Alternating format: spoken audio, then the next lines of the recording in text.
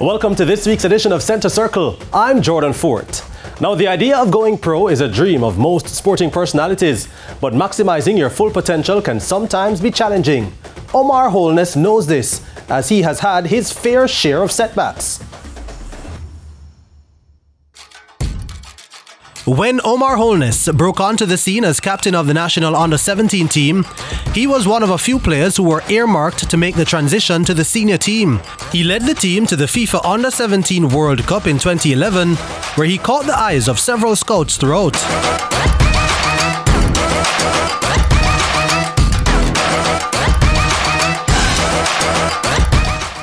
It was one of those eye catching moments which led to him being given a trial with Fulham, who were in the English Premier League at the time, but things didn't go the way he planned. It was the first ACL that I had. You know, I was on the brink of something special.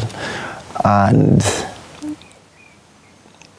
ACL blew on me. You know, this was 2011, right after the U17 World Cup. And contract negotiations turned into, well, you know, come back, come back when you're healthy. And I guess you just have to be mentally strong and, and take it as a 17 year old youth, turning 18, you know. Um, but you just take it on the chin and you continue, you just move. Typically, Brian, to be honest, I, I try not to look back. Um, I look forward. I think when you do look back, it's to see how far you've come. And that's what I, that's what I try to do.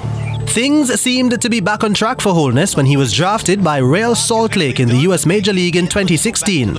But again, disappointment followed. Super Draft Real Salt Lake select from the University of North Carolina and a member of Generation Adidas, midfielder Omar Holness. Guy's been on the uh, Jamaica national team, seen some senior level stuff, played in the Gold Cup. With the, was on the team with the Gold Cup that finished second to Mexico. How important is that stepping into Major League Soccer? Yes, actually, I'm a professional debut um, while I was in Salt Lake. You know, I fell down on the field, and it was a very emotional um, period for my family, for myself. You know, it, it was just a one in, a once in a lifetime thing. You know, it hasn't happened to me ever since. But I fell down on the field, I seized up, and you know, ever since I don't remember before or after. I just remember waking up in the hospital, and um, one of my, my mates saying to me, "Yeah, you had you had a seizure on the field." To this day, I don't remember anything. In this game, when people fall and fall down on the field, it's it's 50-50. Whether you go wake back up, whether you know, or you transition. But you know, I was fortunate to be able to continue my career after that. Um, but certainly, it put things into perspective. You know, somehow I did overcome them, and I started to put things into perspective. Especially with COVID, I thought, you know, finishing my degree was, you know, at the top of the list. Um, you know, when I fell down on the field from that seizure, I started to, you know, think about what life truly, what life truly is and what it means. Um, and for me, you know, how can football impact my life? And for me, that was, you know, can football create a pathway for me to, you know, get a degree, get a master's degree, have some investments? Um, and so far, two out of those three, you know, I have accomplished. I think the, only thing now I need to, to do is to get that master's degree. No, I haven't really asked why me. I try not to feel sorry for myself um, because injuries are a part of the game. And anybody looking at this or or looking at this interview now, you know, everybody have something that you know they go through. And for me, it's just injuries. Um, it's just how you overcome them whether it be on the field, off the field, you know, you, you, you, look at the mistakes that you've made and you can try and, you know, move past them and learn from them.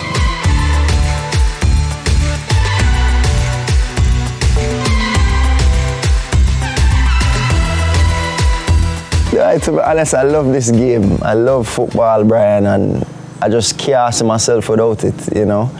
Um, no matter how many injuries that I have, I still want to either play or be in football in some capacity. You know, I was talking to my grandmother the, the other day and she said to me, when you gonna get a real job, this, that, you know, you know, in the older generations is nine to five is everything. So oh, you just uh, mash up yourself, I play this game and you still uh, go back and I say, Grandma, I'm nah, stop. I can't stop. No matter how much injuries I get, no matter what. I just love the game and I love being a part of it. Holness is currently living in England, where he has played a couple of seasons of non-league football. My wife and I are based in the UK, um, in Bristol. My last season ended while I was at Bath City, but um, I took up a coaching stint in the US for the, the, the last part of last year whilst finishing my um, undergraduate degree at North Carolina. It was after my season in Philadelphia. Um, I was at Bethlehem Steel which is now Philadelphia Union 2. You know, the prior year I had torn my ACL at uh, RSL and you know, I then moved on to Philadelphia Union 2 whilst rehabbing from that ACL. And it was there that I just kept re-injuring, getting re-hurt. You know, my meniscus re-tore about two times. I had to go under the knife again and again. And at that point in time, you know, I just said, you know what? My life's passion in football is to play in England. So I just packed my bags and I moved to England. I never had anything. I just, I just packed my bags. And at that time, my, my girlfriend, which is now my wife, you know, she lived in England. So I decided, you know what, why not? And I, I just did it. And Darlington came and, you know, they, they said, you know what, we want to, we want to, we want you. I want to see you. So I went up there and the rest was history. I just continued playing and I was enjoying it. I was loving football again. And I think for me that was most important. Lower leagues of, of football in England is literally not about the money. You're playing for the love of the game. Although there are teams that play that pay good salaries in the lower leagues in England. Um, I do believe though that if if you want money, then you strive to either go to the US or higher leagues in England. That that that would be my my um, my recommendation. Now, if you do want to go to England as a youngster in the lower levels or the lower leagues, there, there, there are scouts at every game. I can tell you that. There are agents at every game. And if you do well, or when you do well, you will move up and that is that is that is 100%. Five members of that under 17 team, including Holness, went on to get senior caps for Jamaica. Not bad when taking into consideration that teams like Argentina have produced only two, England four, USA two, Germany one, and Brazil one in Marquinhos. I mean, listen, football is a very, very competitive sport. Um, I think it's important for us to understand that Jamaica, we're, we're not very respected around the world because of our ranking, because of our inability to qualify for a World Cup, you know, in past, since 98. So making that trans transition becomes even more difficult when we're in that position. And you alluded to it earlier that even the top nations in the world, you have youth players like maybe one or two that transition from U17s into the senior senior team. So I mean, the fact that we're in the USL um, fighting, hunger still, I think is, is, is, is a good thing if we can continue to build our reputation um, and set a pathway for younger generations to to grow into and become more than what we were. I think that is that is a win. In Jamaica, in Jamaica, I think our youngsters are blinded from the truth and the reality of what professional football is based on what they see on the television. They see Messi, they see Cristiano, they see you know Neymar, and they have social media. So they see all of the nice things that you know footballers have, but I don't believe they know what it takes to get to that point.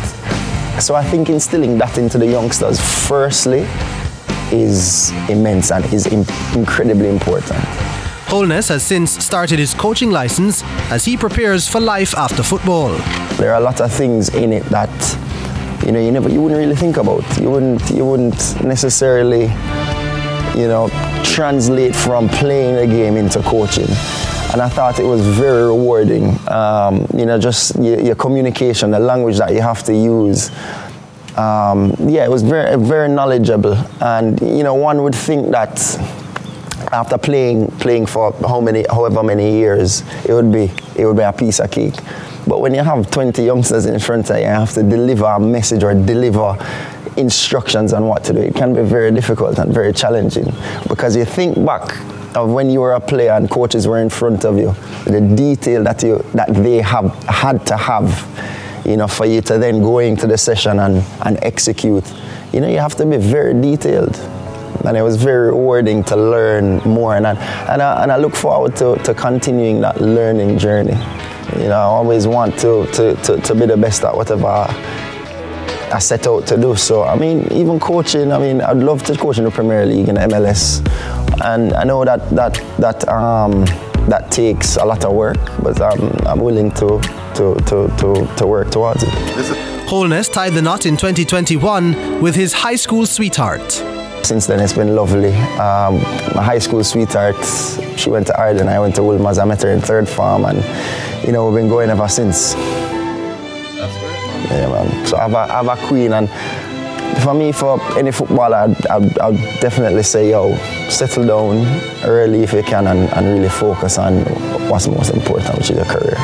He was a main, main reason why I, you know, remain level-headed um, and the reason why I moved to England.